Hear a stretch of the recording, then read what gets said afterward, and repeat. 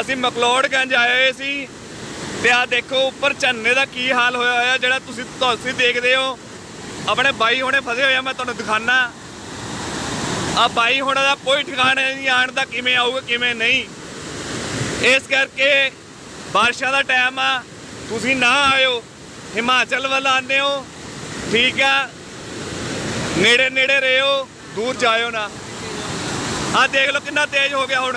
ਆ ਦੇਖੋ ਵੀਰੇ ਅਸੀਂ ਮਕਲੋੜਗੰਜ ਆਏ ਹੋਏ ਸੀ ਤੇ ਆ ਦੇਖੋ ਉੱਪਰ ਝੰਨੇ ਦਾ ਕੀ ਹਾਲ ਹੋਇਆ ਹੋਇਆ, ਜਿਹੜਾ ਤੁਸੀਂ ਤੁਸੀਂ ਦੇਖਦੇ ਹੋ।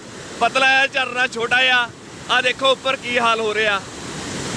ਆ ਸਾਹਮਣੇ ਆਪਣੇ ਬਾਈ ਹੁਣੇ ਫਸੇ ਹੋਏ ਆ, ਮੈਂ ਤੁਹਾਨੂੰ ਦਿਖਾਣਾ ਆ ਬਾਈ ਹੁਣਾਂ ਦਾ ਕੋਈ ਠਿਕਾਣਾ ਨਹੀਂ ਆਣ ਦਾ ਕਿਵੇਂ ਆਊਗਾ, ਕਿਵੇਂ ਨਹੀਂ। ਇਸ ਕਰਕੇ ਬਾਰਿਸ਼ਾਂ ਦਾ ਟਾਈਮ ਆ। ਤੁਸੀਂ ਨਾ ਆਇਓ, ਹਿਮਾਚਲ ਵੱਲ ਆਉਂਦੇ ਹੋ। ਠੀਕ ਆ।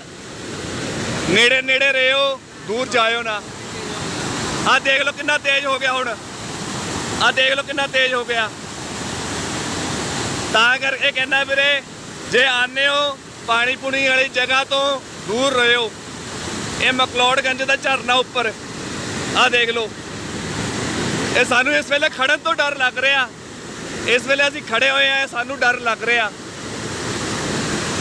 ਓਕੇ ਓ ਭਾਈ ਧਿਆਨ ਰੱਖਿਓ ਉੱਥੇ। ਠੀਕ ਆ? ਆ ਵੀਡੀਓ ਹੋ ਰਹੀ ਹੈ ਵੀਡੀਓ ਤੁਹਾਡੀ।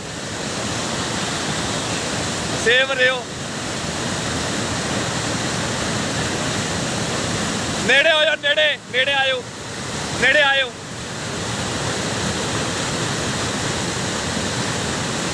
ਓਕੇ ਆ।